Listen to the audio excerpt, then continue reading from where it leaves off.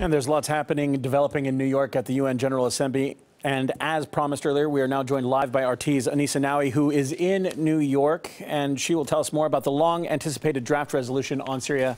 Uh, Anissa, what are we expecting from the UN Security Council right now? Well, the UN Security Council is meeting to discuss this latest resolution on Syria. In fact, we're hearing that we could have a vote as early as Saturday if they hear and get a go ahead from the Organization for the Prohibition of Chemical Weapons. Now, the five permanent members of the UN Security Council reached an agreement on Thursday over the wording of binding and enforceable text to eliminate Syria's stockpiles of chemical weapons.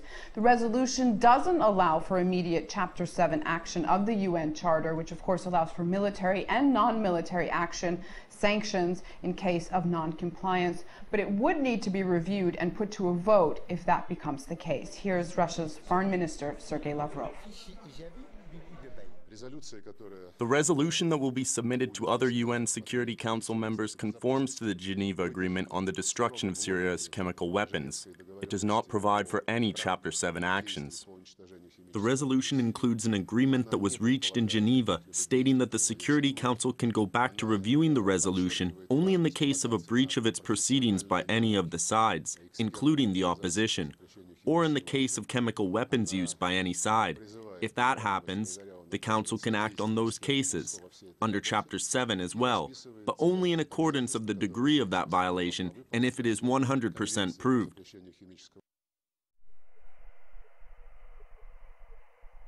So, like the foreign minister mentioned, the draft resolution backs the agreement reached in Geneva between the U.S. and Russia regarding Syria's commitment to place its chemical weapons stockpile under international control. If there is any violation by any part, as the resolution uh, calls on the opposition to assist in the disarmament process as well. This was an important point for Russia. And really, this is a major breakthrough when you think about how less than a month ago it looked like Russia and the U.S. would never agree, and Obama was ready to bomb Damascus.